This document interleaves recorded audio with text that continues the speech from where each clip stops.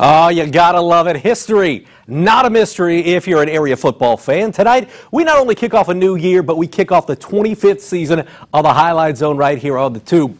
Thank you for making it Fort Wayne's longest running and most watched sports show. And while it is the silver anniversary, only one team came home with the gold last fall. We get things started with the reigning state champs, and Andy McDonald has your Highlight Zone game of the week. Andy.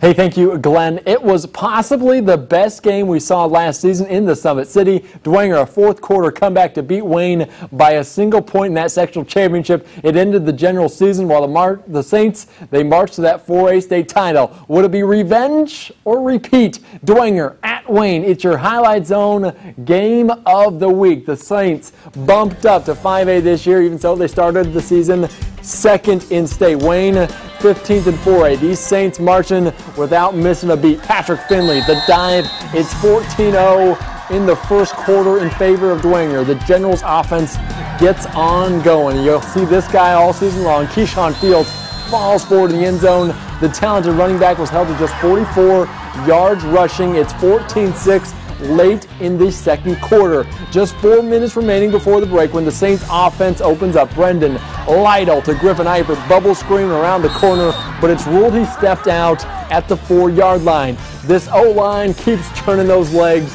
Devin Tippman, number 25 around the right side of the line to hit pay dirt 28-6 Saints. After a turnover on downs, Brendan Lytle, the pump fake, and the dime. Watch this one to Eifert from 56 yards out. The Saints score 21 in the final four minutes of the first half to blow this thing wide open. It's 35 6 at the break. The Saints offense isn't a ground and pound anymore. Brendan Lytle, Blaine Houston. Houston, these Saints are going to be a major problem in the SAC. Bishop Dwenger wins big 41 6, the final. Um, it feels nice to start off the game. I mean, start off the year with a win. And I don't know, it just like shows our offense. Last year we ran the ball, but this year it just shows that we can pass the ball. I mean, how dynamic is it? Because you got Finley in the backfield, you got Griffin, you got Houston, you got all these options. I mean, is it almost too many options? It, I know it's crazy because I just feel like if I throw to one, the other one gets mad if I don't throw them the ball. But I mean, it's nice having all those receivers. We wish our offense line's more balanced. We'd potentially be better than last year.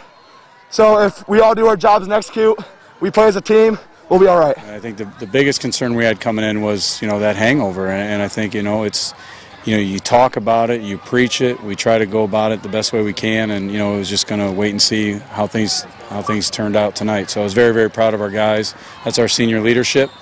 Wayne will play at Bishop Luers next week, while Dwenger, they open with a new stadium uh, against Northside. Glenn, back to you.